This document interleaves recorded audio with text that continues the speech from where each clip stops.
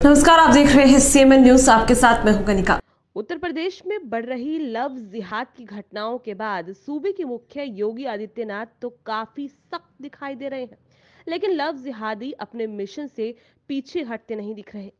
ताज़ा मामला मेरठ का है, जहाँ पर एक जिहादी ने अपने प्रेम जाल में फंसाकर एक युवती को चार महीने तक बंधक बनाया और उसके साथ दुष्कर्म किया।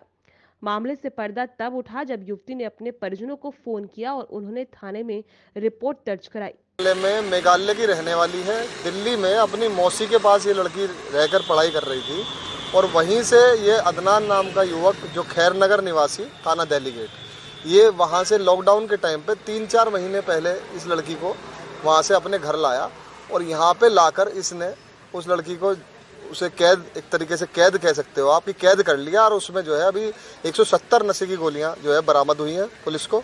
और अदनान के नाम एफआईआर की गई है इसके अंदर। अदनान के अलावा परिवार, क्योंकि और भी उसकी, अदनान की माता, अदनान की पिता या भाई, बहन, जो भी परिवार में रहा है, उसमें एफआईआर में पुलिस ने सिर्फ़ अदनान का ही नेम्ड करा है। और हम ये लोग, ये मांग उठा रहे हैं कि इसके अंदर परिवार के और भी लोग सम्मिलित इसके अंदर हैं, कहीं ना कहीं। तो चार महीने पहले आपने बताया अदनान लेकर आया था, अपने घर में रहा। तो अदनान लाया कैसे था? इसको कैसे अदनान मिला था इसको? अदनान के संपर्क में नाम बदलकर इसने जो है संपर्क करा उस लड़की से जो साथ में जॉब करती थी या क्या करती थी लड़की इस तरीके से वो भी कहीं ना कहीं लिंक में आया और लिंक में आने के बाद उसने नाम अपना लव जिहाद एक तरीके से आप कह सकते हैं पूर्ण तरीके से लव जिहाद है क्या नाम बताया था उसने अपना?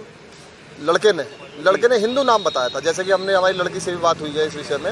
लड़की से भी हमने बात है तो लड़की काफ़ी डरी हुई है इस समय क्योंकि लड़की ने पर दो दिन पहले ही जो है अपने मेघालय अपने परिवार को संपर्क करा। वहाँ से मोबाइल किस तरीके से उसे किसी के फ़ोन से घर में से ही किसी के फ़ोन से संपर्क करा और बताया कि मैं ऐसे ऐसे यहाँ कह दूँ और मुझे आके यहाँ से छुड़ा लो। लड़की किस धर्म की है? लड़की हिंदू धर्म की है। तो अब अब क्या हुआ? कैसे इसका सारा खुलासा हुआ फिर? इसका खुलासा जब लड़की ने फ़ोन करा अपने घर वालों को वहाँ वहाँ की पुलिस ने कॉन्टेक्ट करा दिल्ली गेट थाने को। उन्होंने बताया कि ऐसे ऐसे लड़की जो है वहाँ पे जो है कैद है। उसके बाद वहाँ से संपर्क उधर से करा उसके परिवार वालों ने पुलिस से संपर्क करा। जब डेलीगेट थाने ने इसमें एक्टिवनेस उस नंबर का नंबर वगैरह डिटेल विटेल निकाल के पता लगाया कि कहाँ पे कैद है। जब जाके इसको छुड़ाया और अदनान को पुलिस अरेस्ट करके लाई।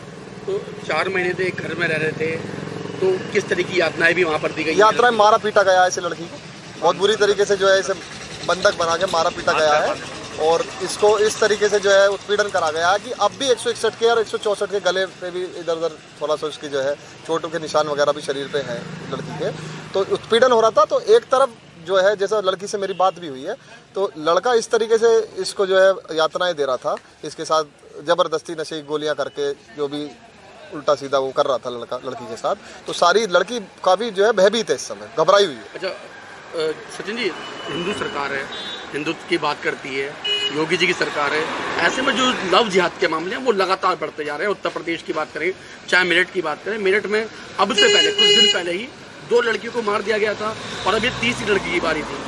बिल्कुल, देखिए, ऐसा है, जैसे आपका बूढ़वाल में जो या मेरठ प्रतापपुर थाना की जो घटना हुई थी सेम यही केस दोबारा दोहराया जाता, अगर ये सही समय पे इस पुलिस इसमें थोड़ी सी एक्टिव ना होती थाना स्तर पे